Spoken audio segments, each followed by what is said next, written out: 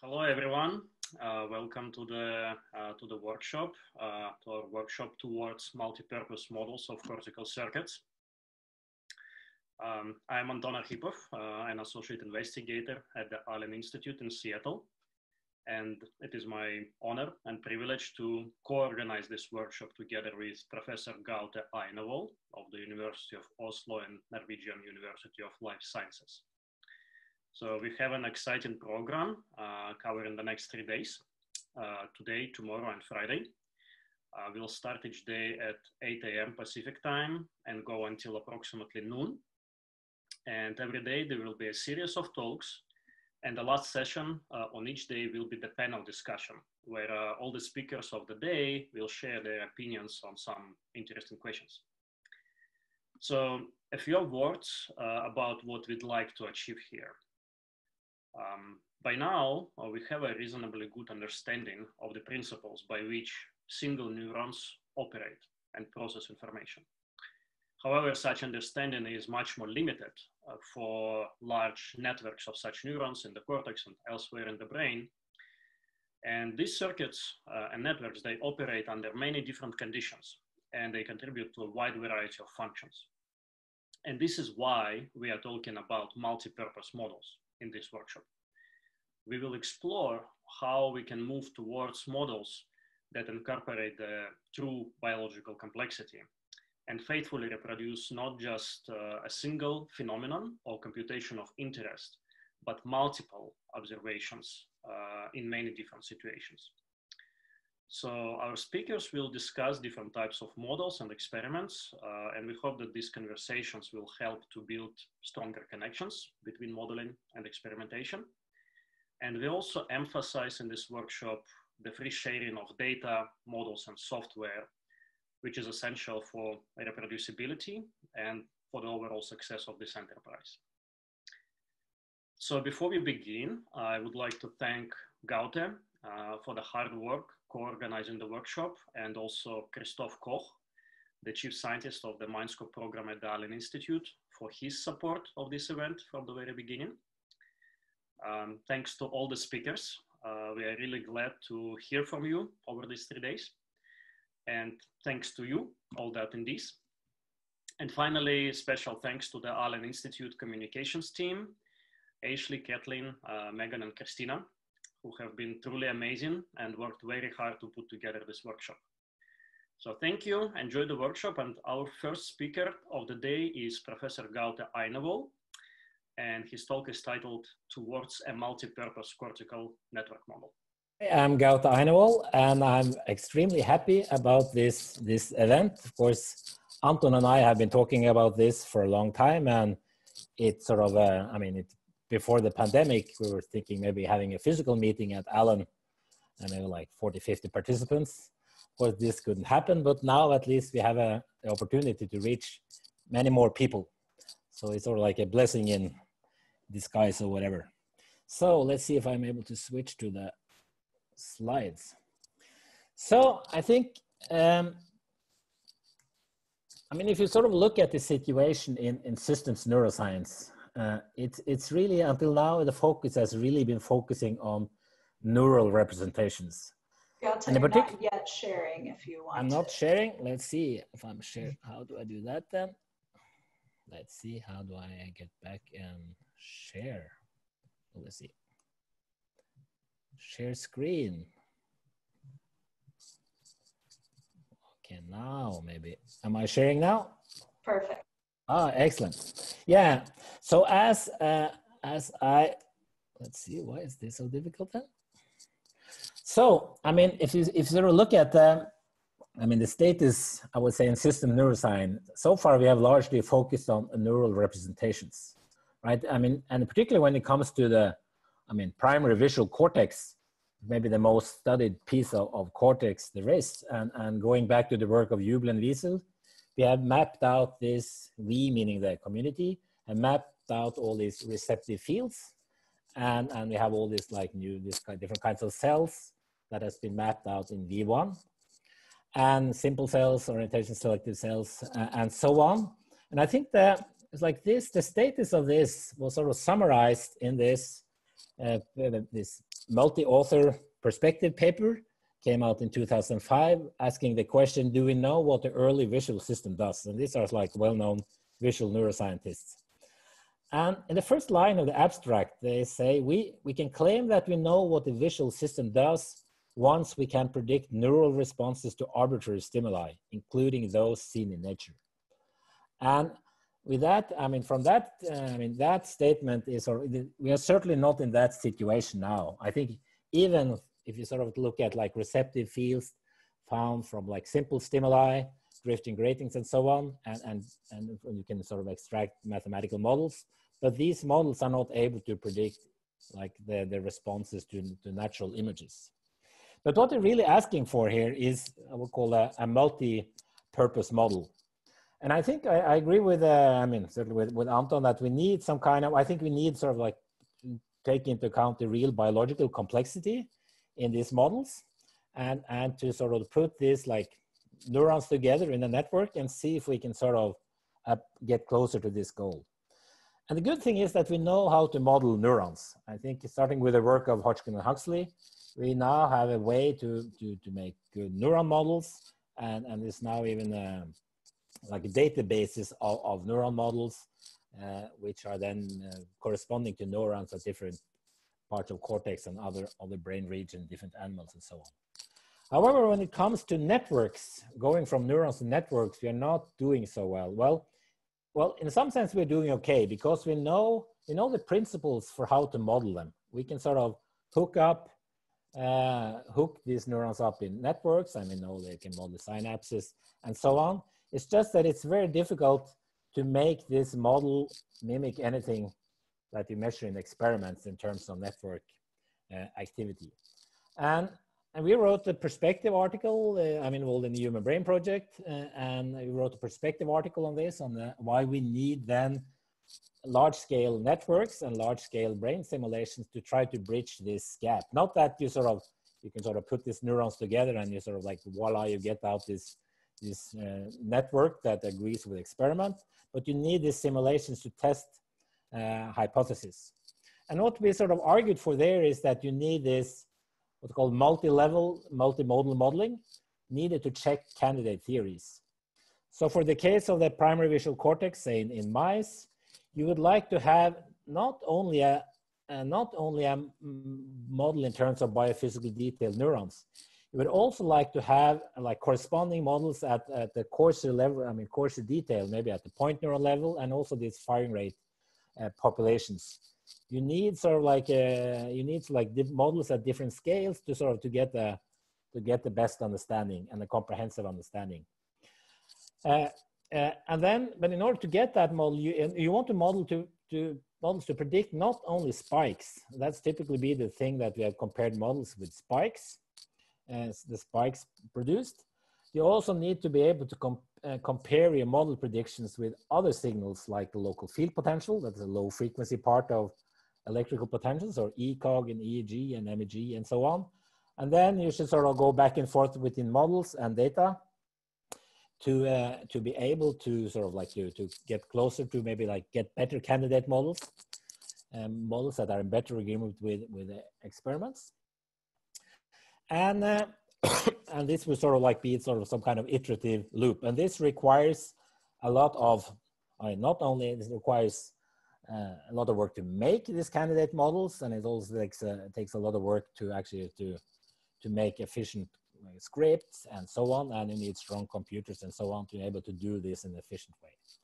And if you look at sort of the present models of primary visual cortex, I think uh, at the most coarse grain level, we have a lot of, uh, of quite useful models at, I would say, at the level of firing rate populations, maybe looking at in particular on, on like responses of, of neurons in layer four, the input layer of visual cortex receiving input from thalamus, where you have this, typically this low dimensional model, meaning that one or two dynamical variables mimicking one or two populations uh, and which then uh, predicts things like orientation selectivity and contrast invariance, the stimuli, and, and, and so on.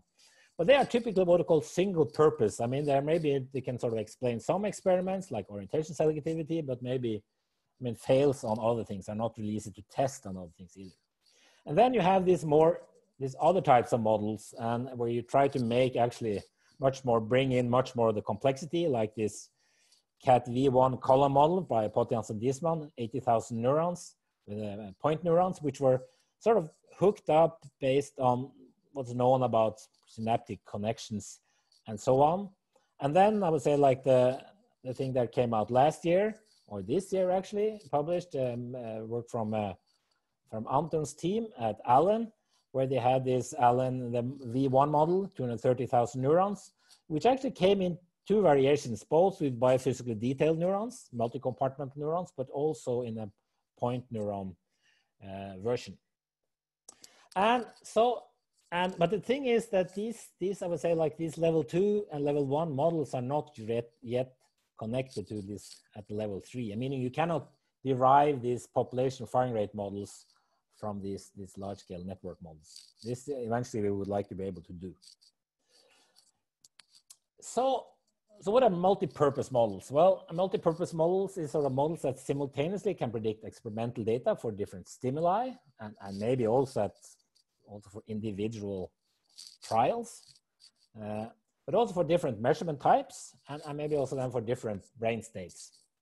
And I, well, at least I think that multi-purpose models must likely be high dimensional. I mean, many dynamical variables like in, like in real brains. And then at the end of the day, it should be re reducible to several single purpose models at level three, like firing rate models, which explains like different, different um, phenomena. Actually, the first person, or actually the first group, or maybe the person trying to make this, I would say like biophysically detailed models were, was Roger Traub. He made this well-known uh, model of somatosensory cortex, three and a half thousand neurons or something with, was actually quite stylized neurons. And he starts his paper by saying, the greatest scientific challenge, perhaps in all of brain research, is how to understand the cooperative behavior of large numbers of neurons. And it says any model, even of a small bit of cortex, is subject to difficulties and hazards like limited data, large number of parameters, the expense and slowness of the necessary computations, and serious uncertainties as to how a complex model can be compared with experiment and shown to be predictive. The above difficulties and hazards are too real to be dismissed, be dismissed readily and which this is certainly something we uh, we agree with. These are still difficulties, and he goes on to say, in our opinion, the only way to proceed is through a state of denial that any of the difficulties need to be fatal. The reader must then judge whether results, preliminary as they must be, help our understanding. And I think these are, I think compared to 2005, this is still, I mean, you still need a, you need well, i think you still need to be quite optimistic and and not sort of be in this that you don't think that any of these limitations is are going to be fatal. But i think that applies to many ambitious uh, research uh, projects. But also we are in a much better state than we were in in 2005 and i think particularly i would say uh, not working at allen institute maybe particularly because of the work that has been done at the allen institute because they are now focused on on this, this mouse V1, which allowed uh, Anton's group uh, to, to be able to make this based on known, like, had all this prior data uh, for like based on mouse physiology and anatomy from V1, which allowed them to make this, this sort of like a, was like a candidate model, uh, first candidate model, maybe a skeleton model you can call it because it's, it has the right skeleton, but the parameters needs to be sort of to be, is, is unknown. Uh, and then this was something that they sort of like published, and this is also a model that is publicly available. So uh, we can actually make a like a, I mean, a community working on the same uh, same model. And then, in order to do, use this, right? If you want to find, try to to use this model to find like essentially tune the parameters to find a model that is explains a lot of the mouse V1, maybe sort of like towards a multi-purpose model you need to take this model and choose some stimuli and input data. And, and because this V1 receives both feed forward input, say from LGN, but also feedback input from higher visual areas. And this, this, this input data can either be, I mean, it could be recorded, uh, like they've done at, at Allen, uh, or it can be modeled based on some kind of like receptive field models, descriptive models. But then also what you need, you need a, a rich data set to validate your models. And, and now what came out recently was that they had like this data from 60 mice, uh, almost 60 mice, and they had like which was which uh, were recorded from in a very like a, a similar way, uh, stereotyped way, with six of these neuropixel probes going through not only V1 and LGN, but going through also these high visual areas. And then you have to make a decision, what should we model really try to target? Should you try to make a model for one mouse or maybe like some kind of average mouse, or should it be better at predicting spikes and LFP and so on? But anyway, if you made this, decide on this signal target, then you need to be able to compute these brain signals. And then if you're able to compute these brain signals, then corresponding to this particular like implementation of the model, then you need to compute, compare essentially what the, deviation for the for a set like metric distance measure, and then you you go into this iteration loop trying to modify the parameters and um, uh, adapt the parameters until you sort of get sort of like deviation between model predictions and experiments as low as you, well, as you set as a criterion. And then you sort of get this sort of like a fitted V1 model, which is then the best V1 model given the present data. Of course, now also on the way is new prior new data from the Allen on synaptic physiology and electron microscopy, and this can then be used as new prior data to to get like a different prior model, which can then iterate in this this loop again. There are some particular features of this, which at least something I've sort of learned start thinking about recently is, um, is that we are so used to optimizing models with few parameters, like low dimensional models, for example, like these firing rate models. And there typically the cost landscape is like wavy like this. And the idea is that if you start with a model like this, you can sort of find your way into the bottle, uh, bottom here, declare victory. If you start up there, however, uh, you can sort of get stuck in a local minimum. So there is this unique optical model at the bottom there, but you easily get stuck in local minima during fitting. However, with many parameters, like you have in this level one and level two network models, um, then the, the, the, bottom of the, this cost landscape is flatter. Uh, because it has to do with the sloppiness of models. If you have many parameters, many many models give many parameter choices give the same essentially like the best similar kind of quality fit to the data. So that means that you, if you start here, you might end up here, find this little optimal model. And if you start there, you find another optimal, optimal model.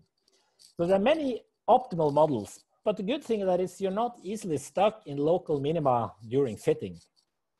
And this was actually something I learned from reading a paper by Terry Sejnowski on reasonable effectiveness of deep learning and artificial intelligence, came out this year. So where actually this was sort of uh, like an explanation for why these uh, why these deep networks are so efficient in, in sort of being trained to image categorization. It's like you have all these parameters and there's always all these equivalent like optimal models that you can find which are not identical, but which are performing equally well. And actually, if you want to learn more about this, I have this podcast in my podcast series, Sense and Science, with Terry, where we talk about talk about this. But another thing we need to do is actually to compute brain signals. And this is sort of like a separate kind of calculation. I mean, if you, I mean, typically you've been measuring spikes and, and maybe comparing model prediction with spikes, but also now with this all this like the the neuropixel probes, they there you can also pick out things like local field potential, and of course with other electrodes placed other places, you can pick up things like EEG or even measuring magnetic field, get MEG, and then you have the whole bunch of optical optical measurements. So how can we take advantage of all this data in this model validation? Well, a key thing is that this is this you can do this physics type modeling of brain signals. That you say if you have a model for a neuron like this one, you and you have uh, then you can sort of compute actually what a spike from that neuron would look like. It has to do with the weighted sum of transmembrane currents in the soma region. And LFP and EEG, MEG actually has to do with the weighted sum of transmembrane currents all of the neuron and optical measurements like voltage-sensitive dye imaging is, is has something to do with the like average membrane potential up in the apical dendrites and so on. So we need to work out these mathematical connections between neuron dynamics and the different experimental modalities. And, and this is sort of like a separate part of computation neuroscience. It doesn't have to do with information flow. It's more like a measurement physics. but this is a, a, key thing that you need in order, if you have a candidate mathematical model for say network dynamics in mouse V1, you should be able to predict all available measurement modalities, all the data you have, because that puts more constraints on the model. And we have worked a lot in our group in Norway, worked a lot on making these, um, uh, making models for the, I mean, how to compute these electrical signals. And, and we have developed this tool, uh, LFPy, uh, which is then, because not everybody has to reinvent this wheel. They can actually use, use sort of like the wheel we have invented uh, or, or any other like tool for computing brain signals. And this is actually this this this element of, of computing electrical signals, extracellular electrical signals like spikes, LFP, EEG, and MEG. It's, actually, it's, it's well established by something called uh, volume conductor theory. And this is sort of like the formula i use in the simplest case where you sum up over contributions from transmembrane currents. But, but uh, that you can also modify it to more complicated cases. The key thing here is that, for example, that you get the LFP is not a measure of the firing rate. Here's like an example where you have one pyramidal neuron that gets a synaptic input in, on the left side, it's the, from, the, from the apical synapse, and from the right side, it's at the, uh, the, uh, in the soma. Both the, the, the firing rates, resulting firing rates could be the same, but the LFP pattern will be opposite. So you have to do this, you cannot sort of like no simple rule of thumb can sort of be used to explain LFP, but the good thing is we know how to model it. That's sort of like volume conductor theory is quite well established.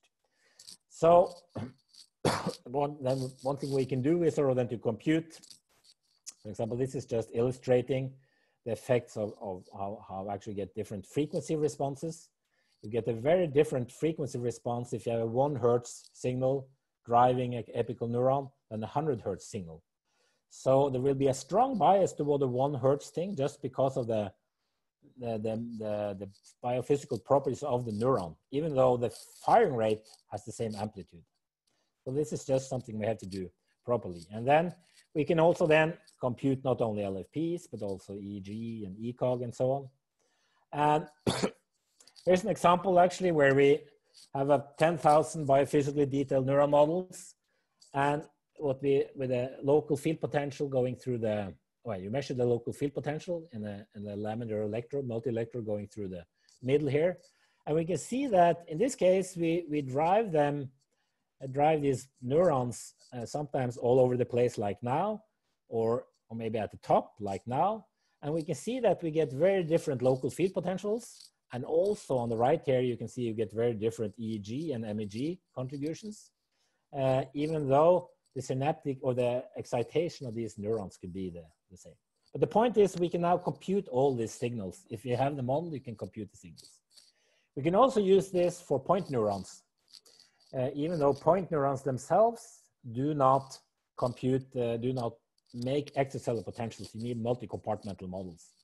But well, you can, yes? Me. It's 10 minutes. Okay, good.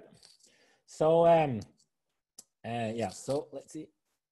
So here it's, um, uh, in this case, we use this Potjans-Diesmann model, 80,000 neurons. and, um, uh, yeah, and, and it's like corresponding to about one square millimeter of cortex. And these point neurons, as I said, do not predict extracellular potentials. However, we can do this trick so we can use point neuron simulations like we use in, in NEST, for example, to compute the spiking activity. And this is just showing a raster plot of these neurons across the, in this case, across the cortical layers. And, um, and what we see here is that, well, it's like at time 900, you get this input from thalamus. So you get this strong activation like here. You can see this strong activation across cortex and, and other, other times it's just like some kind of background activity. But the thing is, we can sort of store all these spikes, and then we can, in the second calculation, actually replace each of these 80,000 point neurons with 80,000 multi-compartment neurons and replay the spikes essentially and use them as presynaptic sort of activators and then compute things like the LFP. You see it doesn't happen much except at 900, you get this strong LFP spreading across the cortex. And at the same, you can also then compute the EEG contribution at the top of the, at the top of the head. So, so we are trying just to sort of, uh, the, the, reason we sort of, I mean, the reason Anton and I got interested in making this workshop was that it was a background of, of collaboration we have, have, um, have been working on for a couple of years, where we sort of want to use this, the, models that's been made in this group, and also to, to see if we can sort of constrain it better by not only comparing with spikes, but also with um, LFPs. And uh, Anton will talk more about the model uh, later. So here's just an, like an early example result. Uh, and one thing uh, we realized actually is that, so here's like the LFP from a simulation, and, and this is LFP from an experiment, a mouse experiment, but this is like trial average, and it's like a full field white flash stimulus coming out at, at like 50, like 30, 40, well, it's turned on at zero milliseconds, but the, the response in the cortex started like at 40 milliseconds or something. But this is what we've seen after looking into this, this experimental data. There's a lot of variability.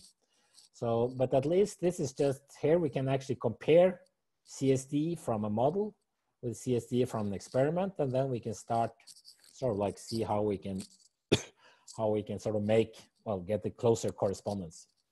And here's the same thing for the for the fire rates. So the point is that this is here we can we can actually sort of then gradually sort of we can try out different essential parameter choices and then see how we can get a better agreement between experiments and models. Of course, this is a big, it's not even a project, it's more like a program.